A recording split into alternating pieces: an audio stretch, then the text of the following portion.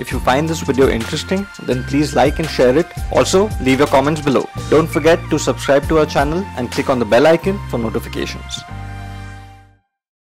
Now let's learn the biasing of this LED. LED is biased in the same way as PN junction diodes are biased. Anode is connected to positive of the supply and cathode is connected to negative of the supply. Resistor RS is always connected in series with the LED to limit the current flowing through it and to protect it from damage due to excess current.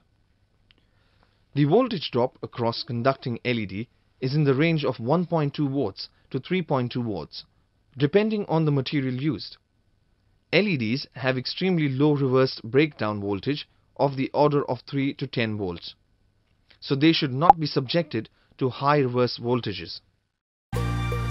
If you find this video interesting, then please like and share it. Also, leave your comments below. Don't forget to subscribe to our channel and click on the bell icon for notifications.